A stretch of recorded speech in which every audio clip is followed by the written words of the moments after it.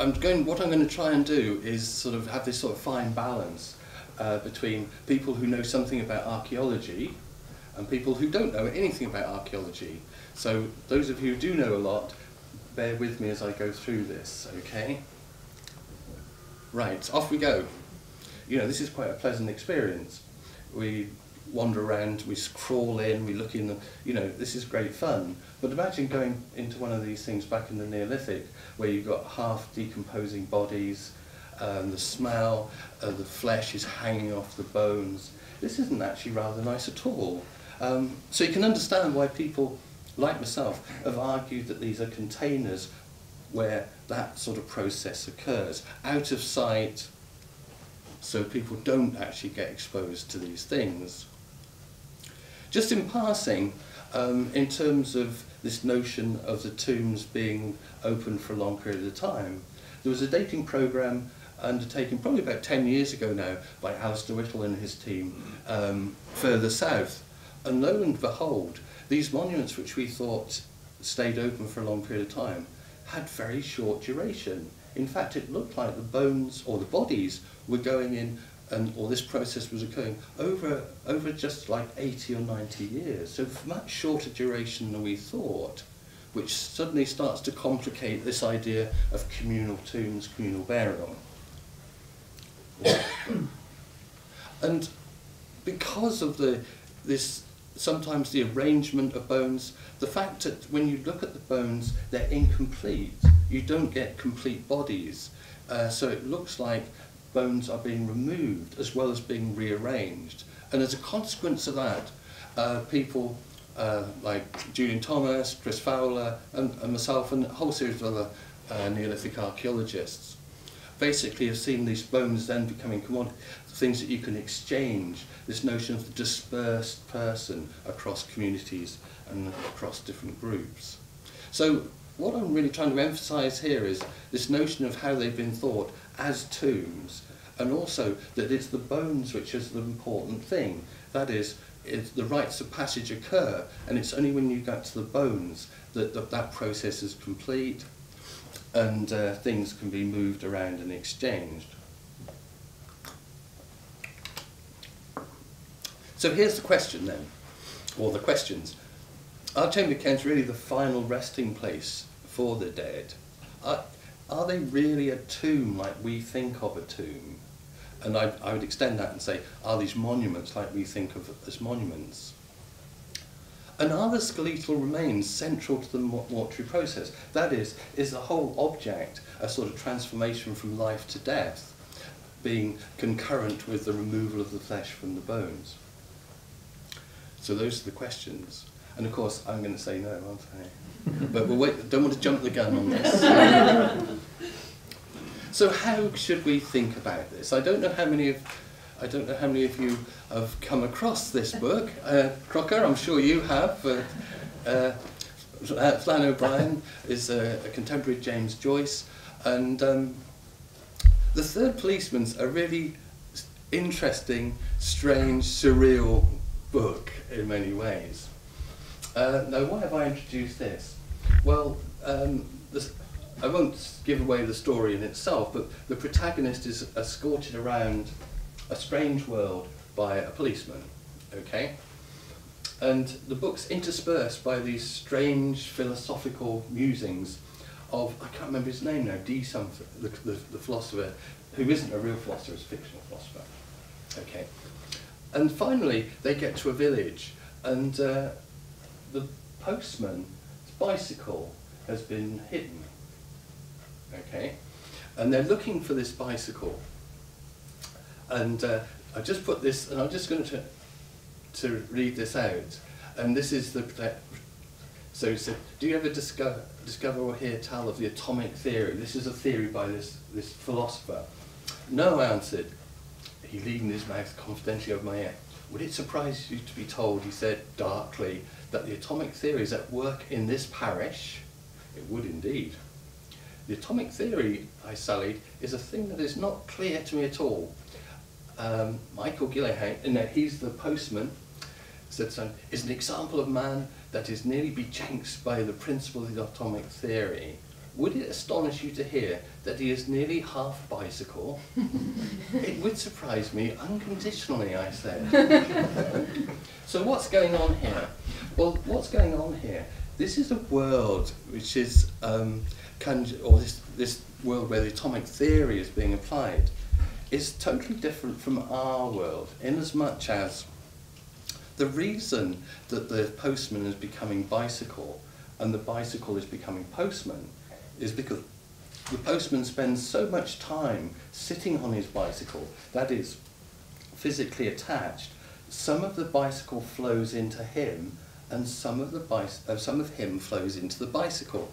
And there's a really interesting bit in there where they say, well, some people were gossiping only to notice the bicycle was leaning against the wall. Well, this is very problematic because that means the postman is going to be able to know, yeah? So so this is a so we can we can we can think of this as a fluid relational world where things and substances don't have the stability that we think of them in our existence in our world.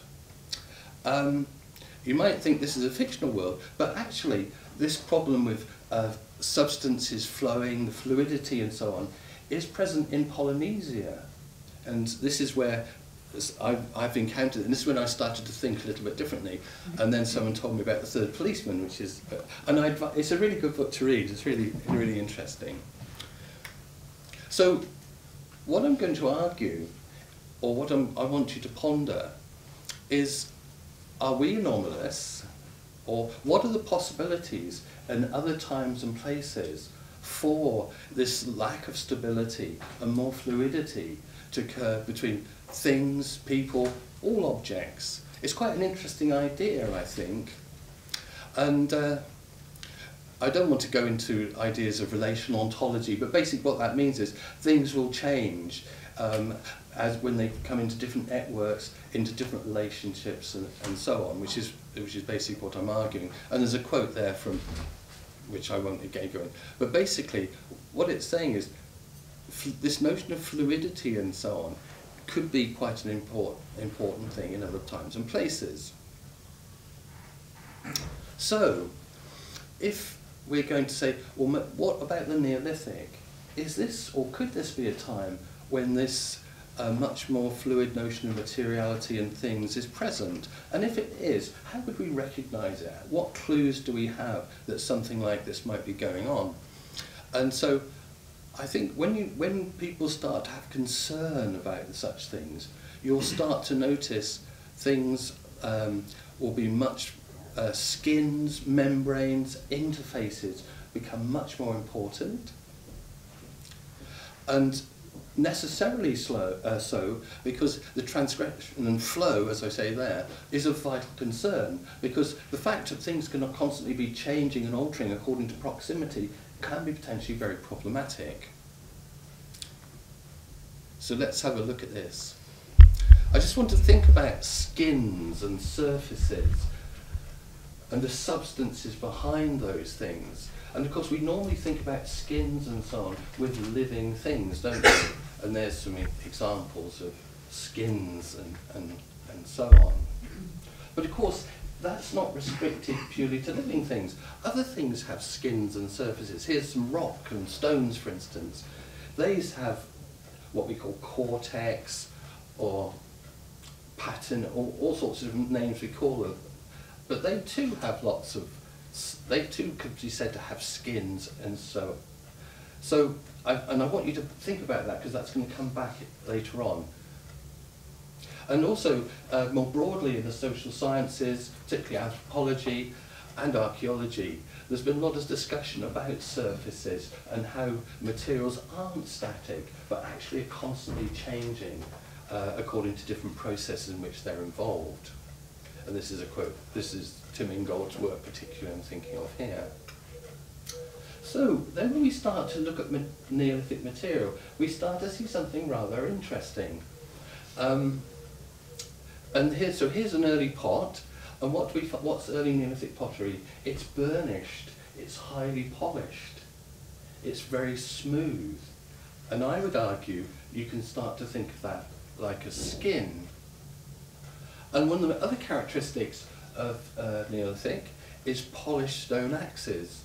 Now, the re- again, this, this is quite, for me, quite personally quite interesting because, oh, a number of years ago when we were working at Stonehenge, we went out onto some Marlborough Downs with Josh Pollard and we came across these polissoirs. Polissoirs are these grooves where they, where they polish stone axes, okay? And I remember touching these and thinking, oh, they're so, it's so smooth. This is such a smooth surface.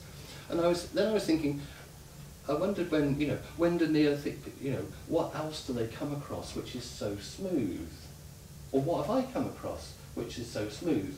And of course, I answered, skin, not old skin. so my argument here is that we're seeing not only pottery having skins, but we're seeing uh, stone axes, and then of course you look more, and you find they do it to everything. They polish on the, they polish, they create surfaces on so many different, particularly on stone objects, but also on pottery. But they don't rest just restrict it to that. Monuments too have skins. Um, skin, skins of masonry.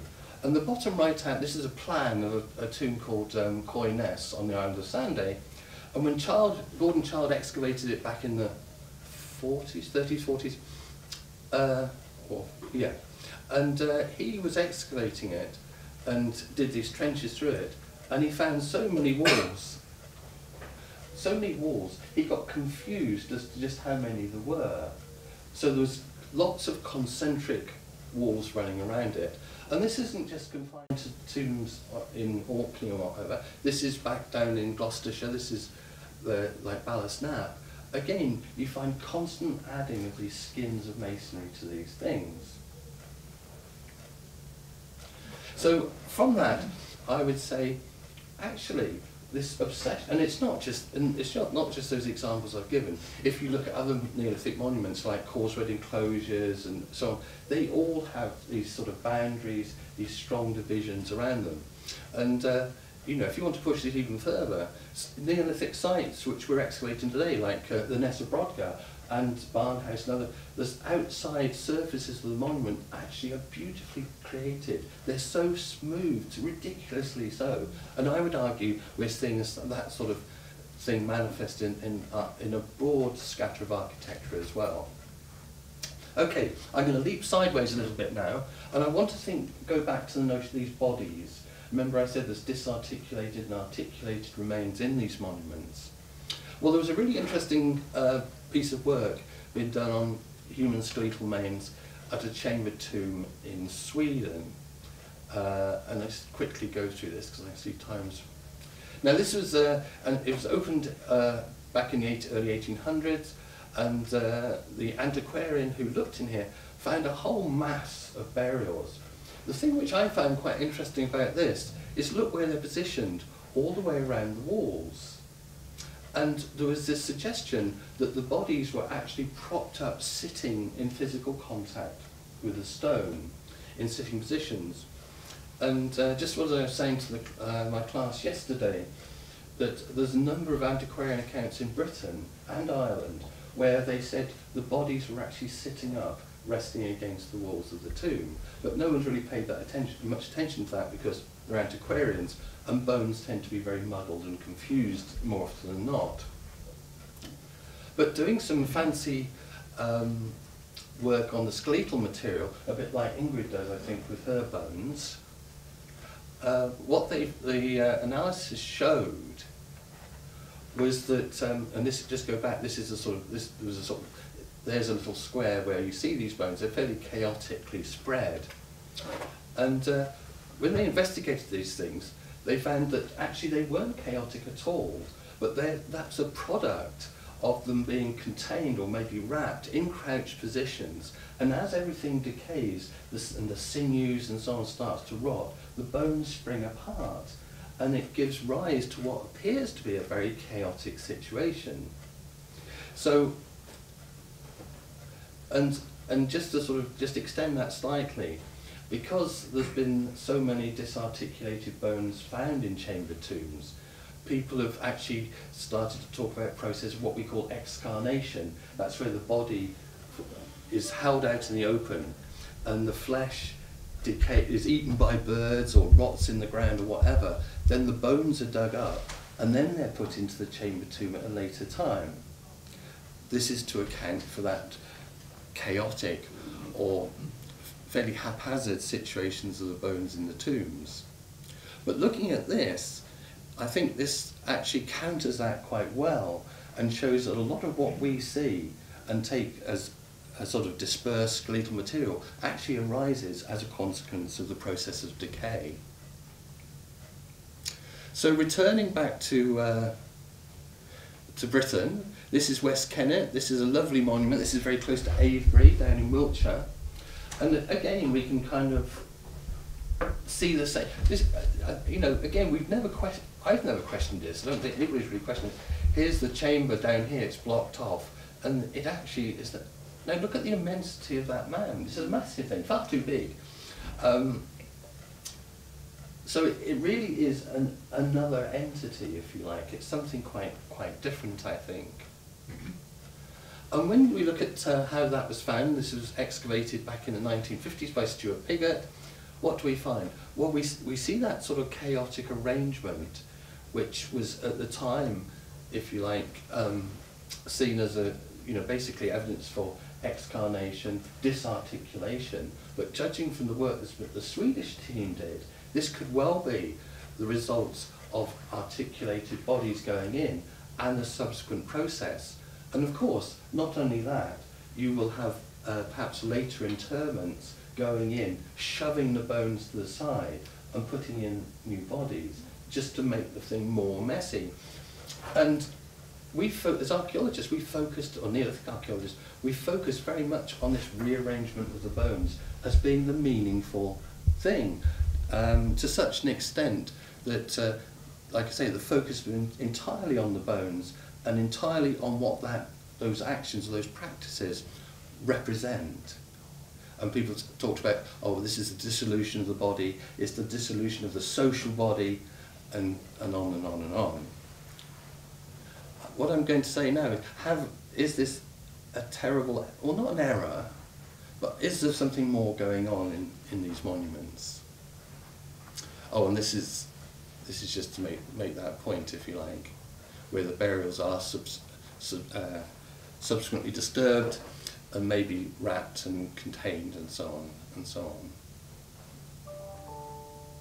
And this is that, that big tomb we saw right at the beginning. This is Tinkinswood, and there we see that uh, again a jumble of bones inside is, was, has been reanalyzed just literally a couple of years ago, uh, or a year ago even, and of the individuals, there's a range of individuals in there but the, uh, the final judgment was that actually these were entire humans. This is, these were inhumations going in, whole bodies going in, which are mixed up and jumbled and so on subsequently. So this is where we come round to, finally, I guess. So whole body's going in, and it's there where the flesh comes off the body. And when I was first doing um, research into Orcadian chamber tombs, the excavators often talk about a black, greasy layer at the bottom of the tomb deposits. I've, I've never seen this, but I, when, when I read that, I thought, oh, is this the flesh mixing with the soil? And because the flesh does decay, decay in these monuments. Now, here's a danger to all of us. Um, uh, things are altered, can be altered, and sometimes are purposefully altered. Now, I, I think we should think about skin as an impermeable membrane that keeps us all in, in place. So any contravention of that is bad. But any contravention of that allows things to have access. Okay? I just want to look, this is a good example. This is, and this is what I'm going to say now, is true for virtue, all the examples I'm going to give, is true for virtue all chamber tombs, strangely enough, apart from, say, some of the Orcadian ones, which use dry stone walling. But most of the other uh, big megalithic tombs, they actually employ large stones. But when you look at them carefully, you find a really interesting thing. And that is, and this is in North Wales, this is a tomb in North Wales, and what we find there is all those stones, if you like, all the inside faces are the cleaved split surfaces, and the back of those stones are the natural skin, okay? Now you say, oh, well, that's to get a flat surface. But no, none of it, because a lot of these stones are coming out of the quarries with fairly, so they've deliberately split these stones. And you might think, well, you know, how do you know that? If, and here's another, this is another monument again. Now, not interestingly, it's not only the uprights which create the sides of the chambers, but also the capstones themselves also have a split side at the bottom. So if you like, if you can imagine the sort of chamber, the, the chamber tomb is composed of, its outer, the outer side is all the natural skin of the stones, but the inside is all the cleaved inside surface exposed.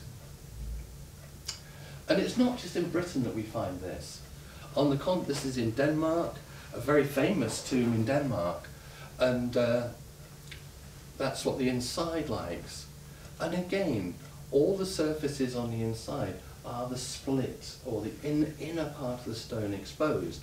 Now, the people who excavated this, uh, Sven and Torben, they were very interested in this and looked at the stones very carefully, and they found that not only were they the split stones, but they split the stones and then had them so either together or juxt uh, juxtaposed or opposed across the chamber. So they've actually split stones and then they've pulled them apart to create the yeah. So that's really and they and uh, Sven calls these twins. So this is something which isn't just restricted to Britain or Ireland, but also is in Scandinavia and Brittany as well. And dolmen, which I which I'm just finishing a project on doing, is exactly the same. And that's something we, this is where some of these ideas sort of crystallized, if you like.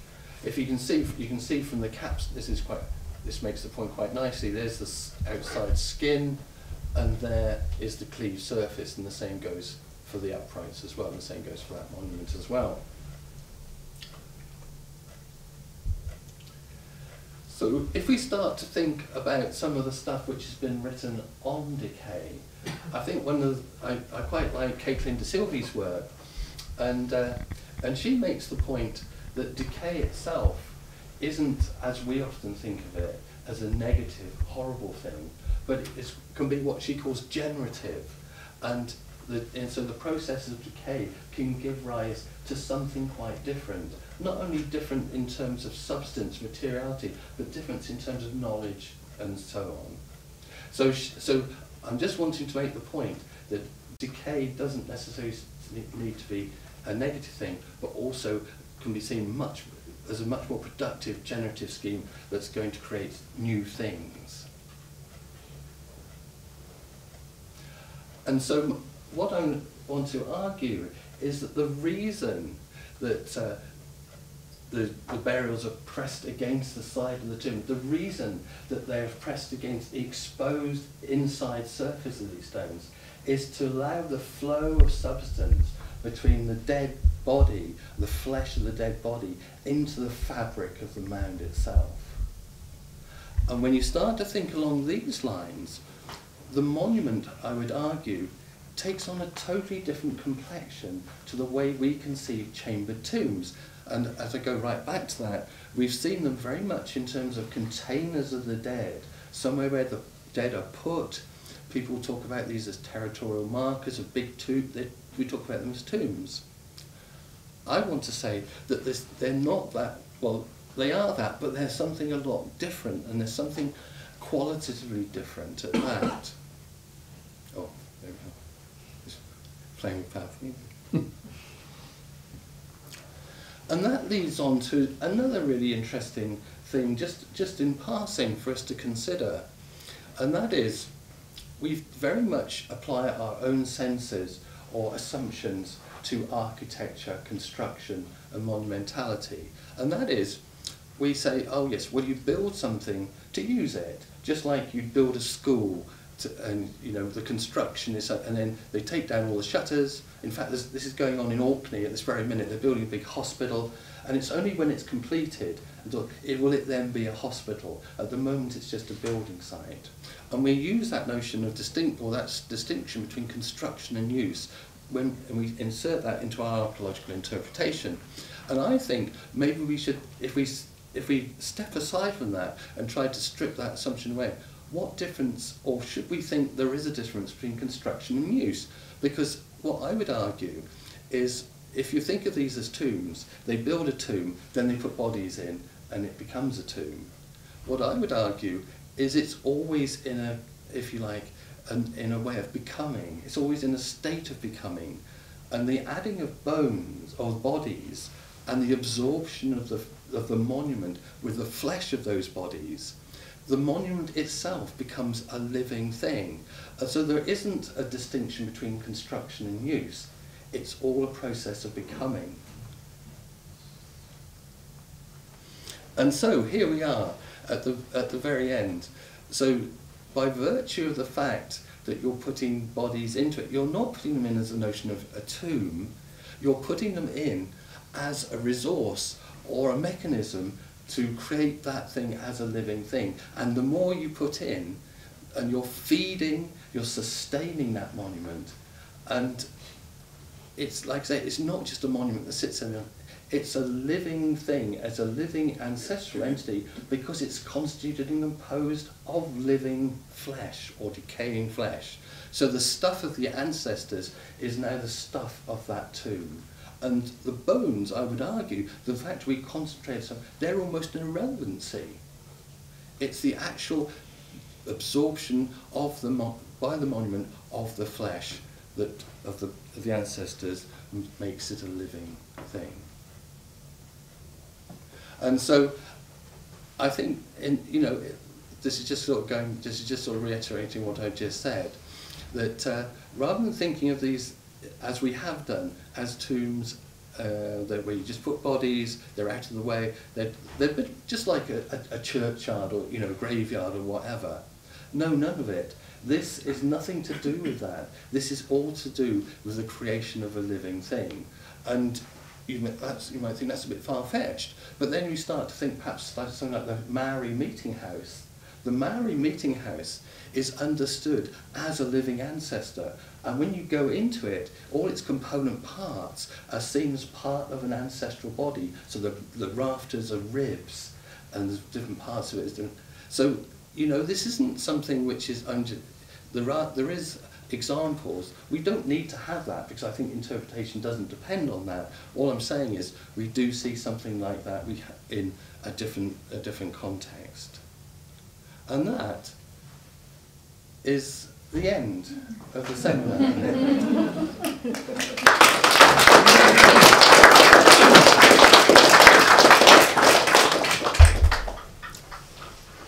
so I don't know actually what happens now. Um, okay. Can I come back in just to thank you, uh, Colin, for that fascinating talk. Uh, I think that's the most original use of Flann O'Brien's work I've seen. uh, it's obviously the first reference in material culture to the third policeman. Um, the philosopher there in that book, he, he was called de Selby, ah. and he was known for the uh, the footnotes were actually longer than the text in large parts of the book, and that was his mockery of the academic world. But uh, your fascinating use of material, substance, and reference uh, you avoid all those difficulties in, in academia. Um, I'll, I'll, never be able to read Flann O'Brien in the same light again after this, but anyhow. Um, just to thank you again, and we have some time now for questions, and I suppose it would be only suitable if we start off with your colleagues and friends in the room which are there, before we open it up to the uh, people on the BC. So can I ask, would anybody like to ask Colin a question on, on, on that fascinating talk? Could I just ask if he starts screen sharing? So we can see people? Oh yeah, um, we need to press the computer on here. There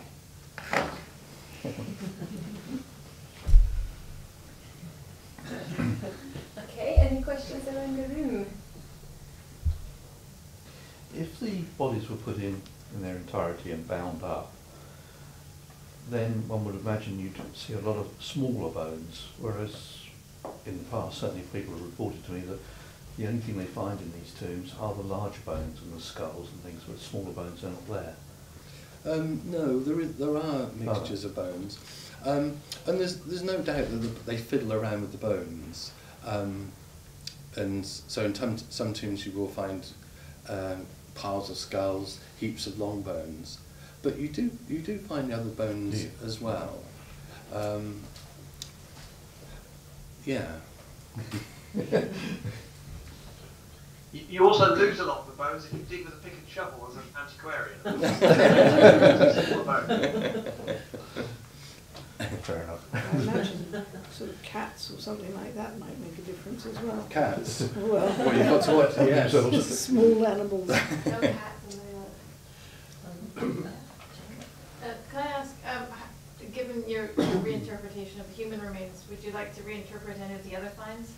And we get the, the animal bones, Um, things like that, whether you, is there a different view you might take of it? Well, um, I suppose if you if you follow this on, one of the interesting things about the animal bones you find in these monuments, and I, I'll, I'll speak about the Orcadian one because that's really all I know about. as Well, is that um, they go in later.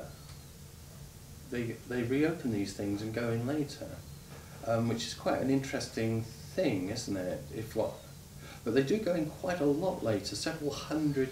You know, I think that's the problem with archaeologists. We skip over those centuries, you know, and see like three or four hundred years as just a little, but you know, eight hundred years. Oh, that's not eight. That's a hell of a long time. Um, um, so you've got two choices there. Either they're doing it for a different reason and taking on a different role, or they're wanting to turn these into animal tombs or animal things.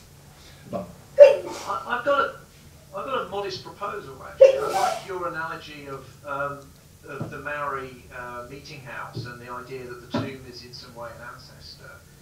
And aware of the problem of the complete, the, the serious lack of bodies, that often that there is a burst of activity of putting bodies into the tomb at the beginning and then long periods of time, a thousand years potentially, passes and they're still using the tomb but not as a tomb anymore.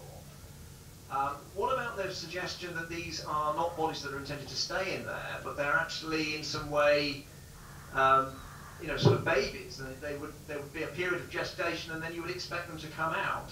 But also in terms of the lifespan of an ancestor, you would expect things to, you know, happen on a seasonal basis. So, you know, it's only young women that have children, uh, and therefore would expect to be pregnant. And therefore, you know, if this is an ancestor, then that maybe if it's a really old ancestor, it's you know it's past the stage where it has babies inside it anymore. Just a thought in terms of this analogy of the and ancestor. I, I suppose the I suppose the thing which is quite interesting is the, this sort of fairly recent work where sites like West Kennet and uh, and several of the Severn Cotswold tombs, um, you know, we we thought these were, were running over, you know, the, the burials were going in over some considerable time. It was quite, it was quite a shock when Alasdair Whittle did his work and only to find that the, you know this is very very short duration, um, and that's because we'd had this notion of them going in as communal burial places and and so on. So you could kind of say, well, actually, you know, this this this very this creation of a living thing is is a very short period of time, and uh, as I, I was, you know, it's actually part of its making. It's not that you're going to use it for anything else. But of course, then then Simon, once you get, um, you know, as you pass through time, I suspect it becomes a resource which can be fiddled around with and manipulated, and uh, and put to all sorts of subsequent purposes. Uh, I think the, the I just this I say I just sort of go back to this this main sort of idea that actually it is a totally different entity than we've ever considered before. You know, it's not like it's it's basically a receptacle for burials. It's the fact there's a need to have the ancestors in it to create a, a, living thing. Um, and from that point it follows forward. But that may be, you know, that may be a very short-term requirement. That may be a very short-term thing.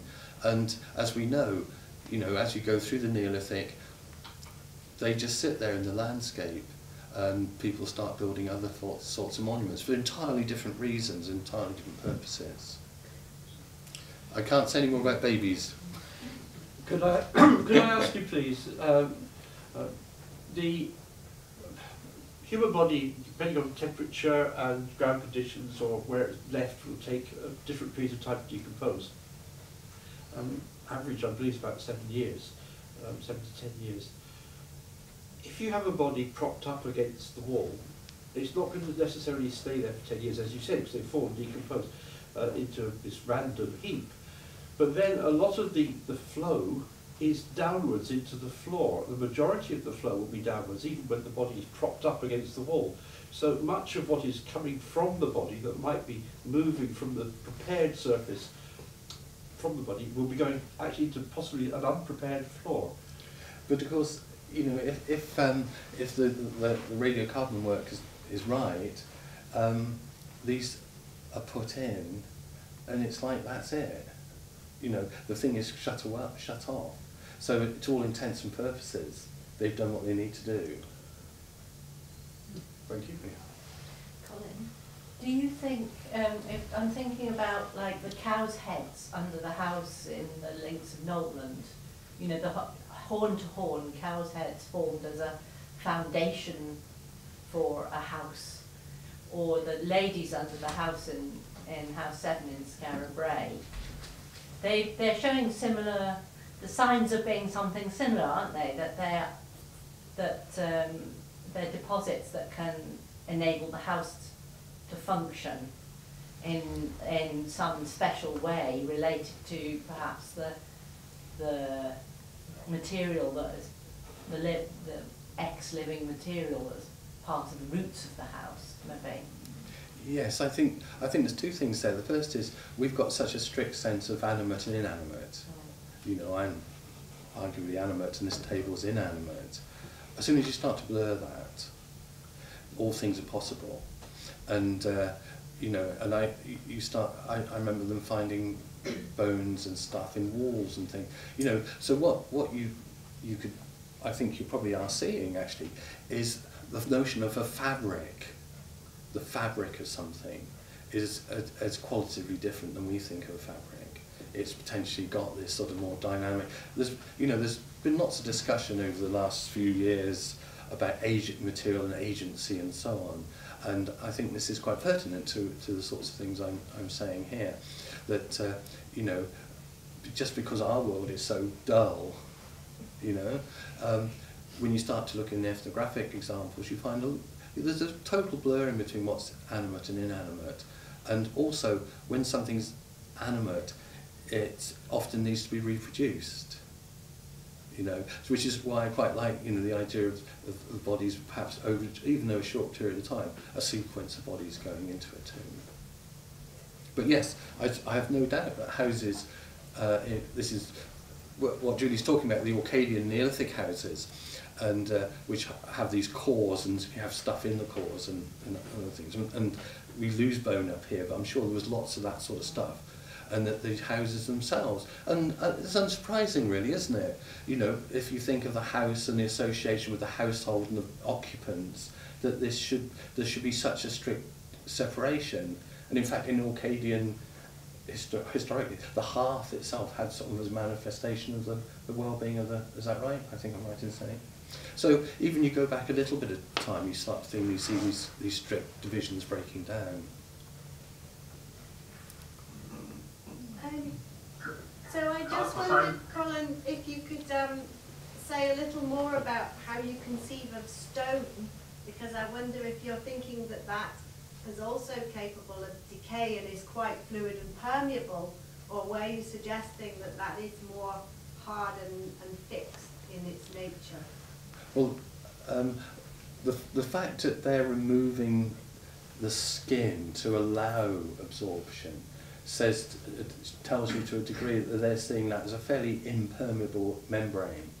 Um, but of course, yes, uh, you know, there's, they do all sorts of interesting things with, with stone, and the fact that they break stone up, you know, things like flint, which does have a a cortex and so on, they break that up to knap the inside of it, could lead you to start thinking about flints and in in a slightly different way. Um, but I, I think one of the, the points that Ingold makes, isn't it, that actually everything's slightly fluid and changing and, and so on. But that's in a much longer time span. So I would, I would think that they perhaps understood stone as being fairly static. I would say that. Colin, could I ask a question about the, uh, the, the fascinating use of the, the theme you have on covers and skins, and relate that, that to your discussion of the uh, chambers the, and tombs, that in a way to extend the theme, you could uh, identify tombs as covers for the underworld, and the, the, body, the bodies in the tombs decaying into that other world, and that's the cover of it. Yes, Does that make any sense? Yes, it does, and and I think you know um, the truth is you know I, I've given a fairly black and white uh, reading of the of the evidence, and of course it's far more. I would, I, as we all know, you know I've, I've kind of had to do that to drive the point home. Um, but things are far more layered and, and so on because you know the fact is the bones they do play with the but they do move the bones around and so on and in Ireland particularly you find lots of burials in caves and so you know just because the, the, the entity itself is animate you know do we just conceive of of like sort of in our contemporary where we think about a soul and the body and, and so on. Again, if you start to look in other ethnographic contexts, you find there's several souls. There's you know, and and they go to different places. Some reside where they die. Some are where they're placed. Some go to a different place. Often they go back to an origin place, you know, from where they once came. So it's it's far more complex. And I do I have always thought that there is that sort of you know there is that subterranean element about this. And when you start seeing the, the caves and things being used in the same way that also I think gives you a bit of indication that you are dealing with a whole myriad if you like of of different realms where so what that tells you, unsurprisingly, is the Neolithic is a very complicated, rich, spiritual, for want of a better word, spiritual world. A world that we have no experience of actually today.